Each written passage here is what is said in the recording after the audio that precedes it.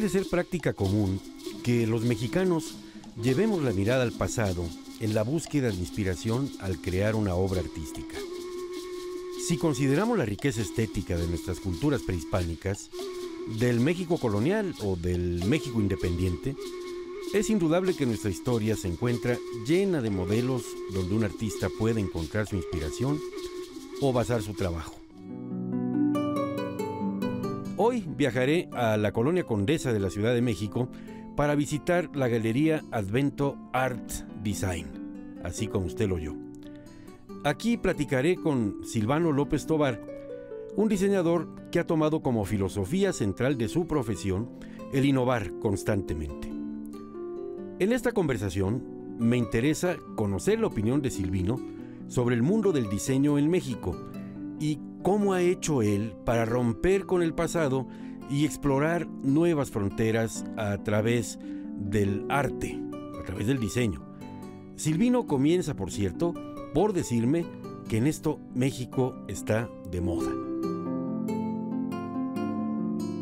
Bien muchachos, es muy sabido que los mexicanos nos pintamos solos para todo este tipo de manifestaciones culturales, artísticas, pero poca atención se pone a un fenómeno relativamente nuevo que tiene que ver con una forma de producir objetos bellos, pero también funcionales. O sea que es darle pues un poquito de vida, ¿no crees, Silvino? a este asunto de las cosas que nos rodean, ¿no? Claro, de eso se trata, de dar vida. Dar vida. El, diseño, algunos lo ponen como una especie de disciplina no artística, ¿no? Me, me decía un diseñador, no, artista, artista, yo no soy. Yo hago las cosas más bonitas, las que me rodean normalmente. ¿Es cierto eso? Bueno, pues es que hay dos partes, la del diseño industrial como tal, que el diseño industrial es diseñar eh, objetos específicos en masa, en volumen, y se convierte en una necesidad propia, ¿no? Pero pues, sí hay que hacerlo bonito, la misma estética es la que nos da a veces muchas funciones. En mi caso, pues sí me he inclinado un poco hacia el arte, he tratado de fusionar esta parte del diseño con el arte, como pues haciendo piezas que no nada más sean bonitas o estéticas, sino también funcionales, pero que tengan un trabajo con materiales que se han usado en la historia como escultóricos, eh, que tienen esa, esa fusión también entre arte, arquitectura y diseño. ¿Por qué? Por eso mismo, de los materiales. Sin embargo, eh, también mis piezas se han dado que son series limitadas, numeradas. En algunos casos son piezas únicas, en otros casos prototipo, y eso es lo que le da este sentido eh, del arte. Hay que estudiar, ¿no? Tú estudiaste diseño. Sí, claro, estudié diseño industrial, de hecho, pero siempre quise estudiar artes plásticas. Se ha dicho tradicionalmente que eh, México mm, va un poquito a la saga precisamente de los grandes diseñadores italianos, ¿no?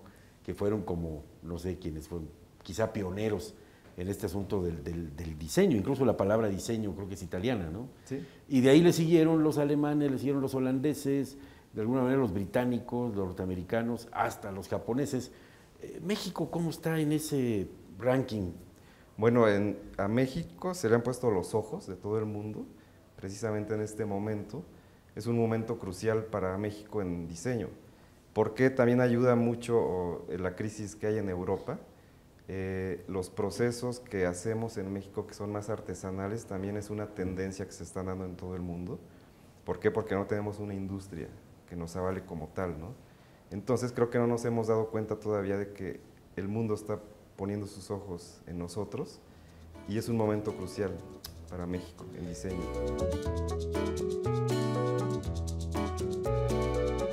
Silvino es originario de Hidalgo y realizó sus estudios como diseñador industrial en la Universidad Nuevo Mundo, sumando un diplomado en diseño automotriz.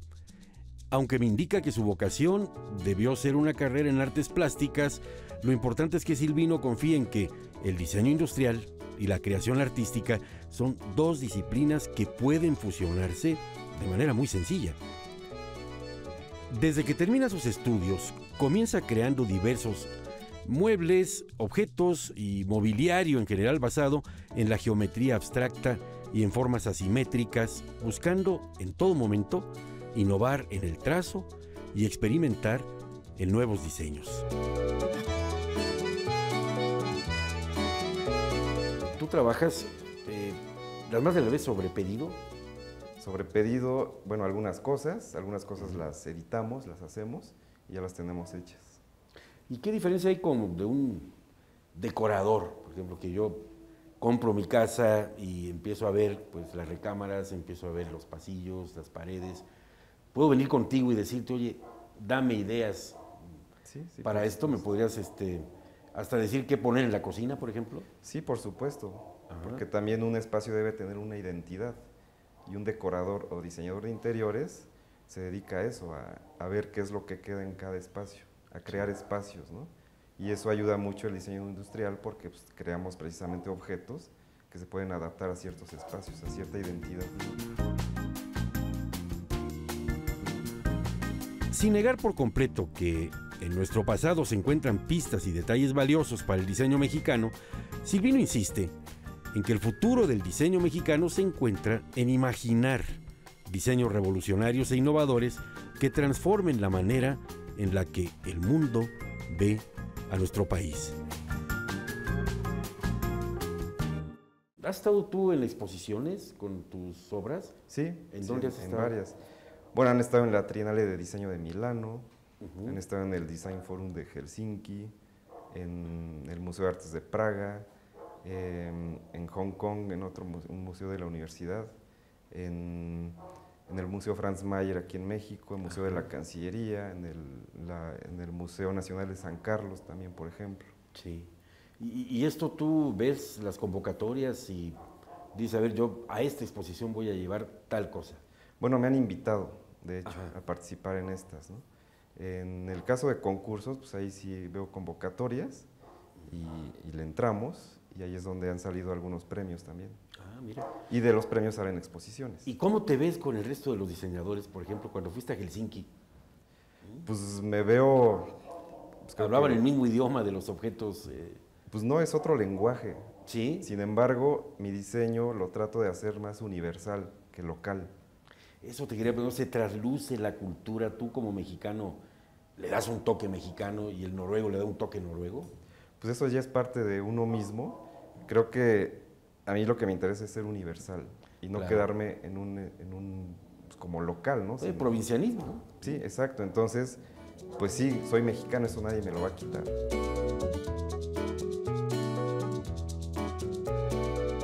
Los objetos que imagina e inventa Silvino han llegado a exponerse en las grandes capitales y ciudades del mundo. Él ha tenido exposiciones en Ravenna, en Helsinki, en Praga, en Seúl, en Madrid, en Milán, entre otras muchas exposiciones. Y me es muy grato saber que el enfoque de Silvino parece funcionar. Porque no es necesario hacer referencia alguna a ese folclore de México para lograr estar a la misma altura que cualquier diseñador en el mundo presumiendo diseños y objetos que finalmente son auténticamente mexicanos. ¿Y cómo lo ve la gente? Por ejemplo, aquí en tu establecimiento, miran, preguntan y te dicen, oye, ¿de qué se trata esto? Sí, bueno, lo que pasa es que es un proyecto social, nace de ello, precisamente, y la galería se trata de que es un crossover entre arte, arquitectura, diseño y moda en algunos casos. Entonces todos los objetos que creamos o que tenemos tienen que ver con eso. La mayoría han estado expuestos en museos o son parte de la colección de museos importantes. Entonces eso es lo que nos hace diferentes. Además los materiales muy distintos, ¿no? Y los acabados. Sí, Me mostrabas un objeto de, terminado en laca, laqueado, eh, objetos de ónix, en mármol negro tallado que son una cuestión hasta de, de una laborioso, digamos. Laborioso, complejo. Por ejemplo, esta mesa que tenemos aquí es de peltre. El peltre es la lámina porcelanizada que se usaba mucho en Yo la conocía para las ollas de las que mi madre hacía la comida y eso era de peltre. que son azules con puntitos blancos. Azules con puntitos blancos. Entonces esta mesa la diseñé pensando en evolucionar precisamente esa tradición junto con los artesanos, porque es una técnica que ya también estaba en especie en, extinción. ¿no? Y esta mesa ganó el único premio de mobiliario en la séptima Bienal Nacional de Diseño de Bellas Artes. ¿Y esta silla en la que estoy tan cómodamente sentado? Esa Tubular. también- esa también es italiana y esa no la hicimos nosotros, pero también es un icono del diseño, que también está en, en la colección de, creo que, del MoMA. Silvino, te agradezco verdaderamente mucho. Me has abierto los ojos. sí. Al contrario, Me los has gracias. llenado con, con trazos, con diseños. Y creo que en este México de ahora, en este nuevo México, debemos de estar pues, hasta orgullosos ¿no? de que estamos a la altura Claro. del diseño internacional. ¿no? Por supuesto que sí. Felicidades. Muchísimas gracias. Gran diseñador, ¿eh? Gracias. Gracias a ti.